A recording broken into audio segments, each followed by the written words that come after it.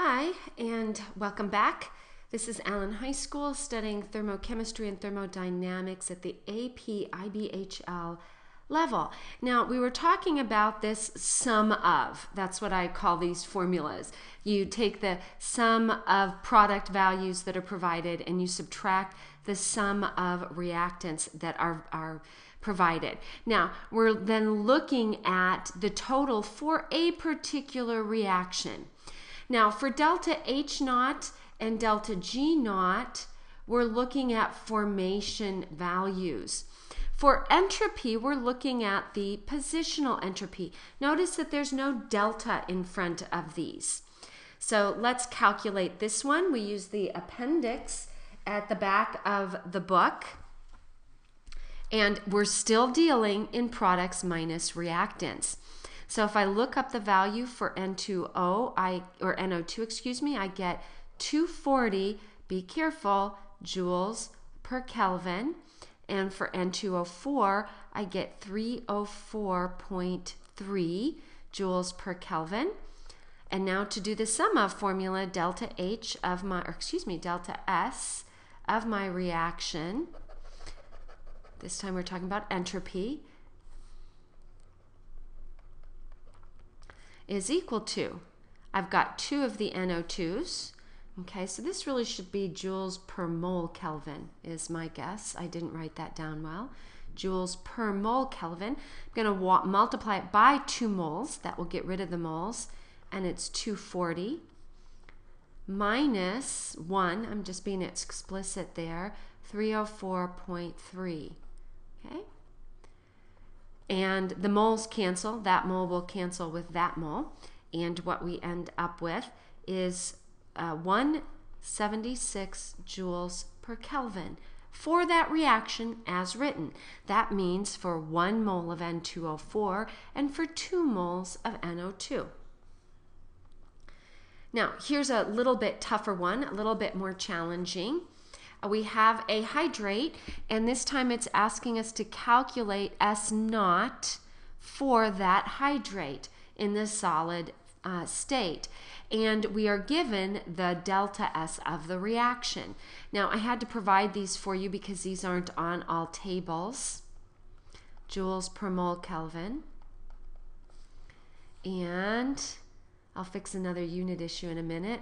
Uh, ammonia and water we can look up and ammonium chloride we can look up those values. So I looked those up. That's 94.6.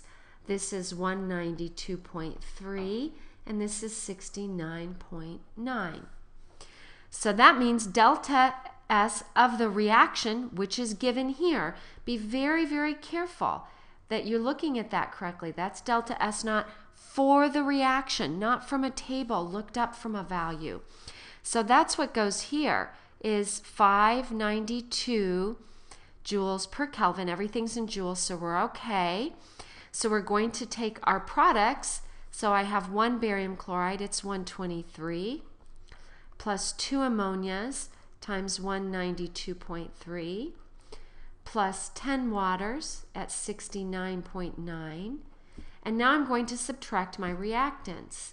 I've got one unknown, and I've got two of the ammonium chlorides, 94.6.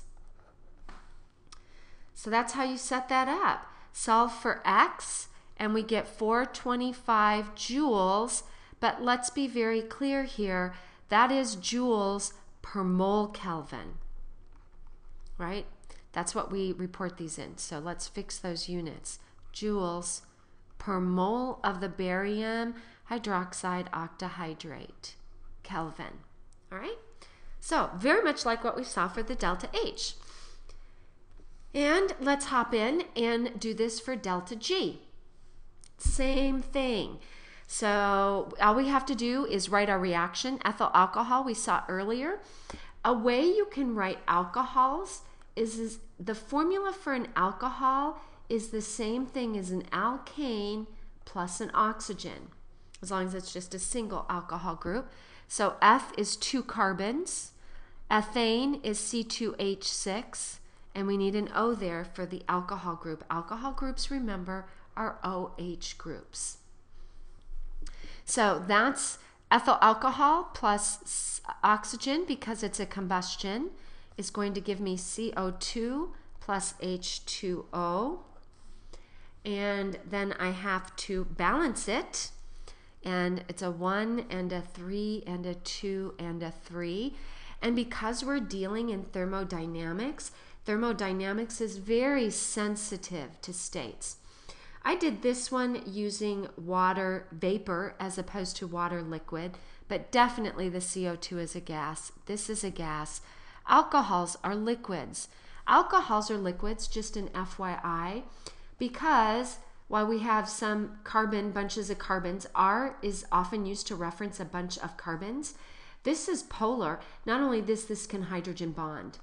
So we have strong hydrogen bonding intermolecular forces, which makes ethanol a liquid. Even though ethane is a gas, that alcohol group makes it a liquid due to hydrogen bonding.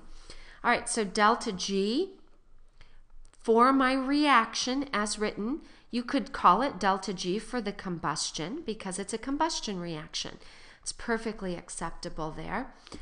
Is going to be 2 times my value that I look up for CO2. And if you look that up in the back of your book, you see it's 394.4. Now we're in the world of kilojoules per mole. So 2 moles times kilojoules per mole gets rid of the moles, plus 3 times the water. And be careful, I used water vapor this time. So it's a slightly different value of 228.6. It's going to be very clear in the context of the question what you should be using. I've seen both. I don't think we can make any definitive statement on that. Now we're going to take away our reactants.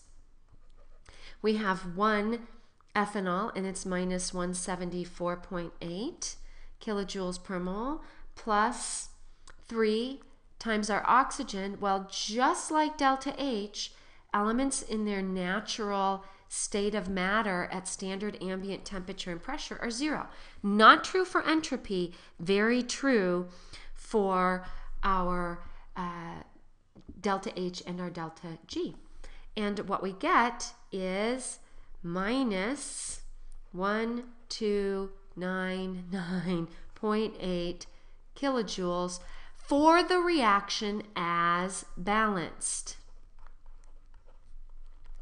which means for one mole of ethanol, for three moles of oxygen, for two moles of CO2, and for three moles of water.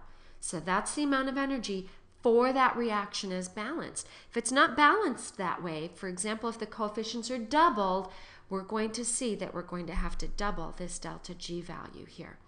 All right, so you've got to be very careful. We don't call it per mole, it's per reaction as balanced, or you could say per mole ratio. Now, what you can do is take these three sum of formulas and find maybe delta H and delta S, and you can combine them with our balancing act, which is our delta G naught is equal to delta H naught minus T delta S naught. And this formula works at non-standard states as long as we are talking about the same conditions for all three of those. Okay, so that's it for this one. A short little video. I may actually have you watch it in class uh, if you're having trouble with these. Some of you are going to blow right through these and get them right away. And if that's the case, I won't make you watch the video. So until then, this is YBC signing off.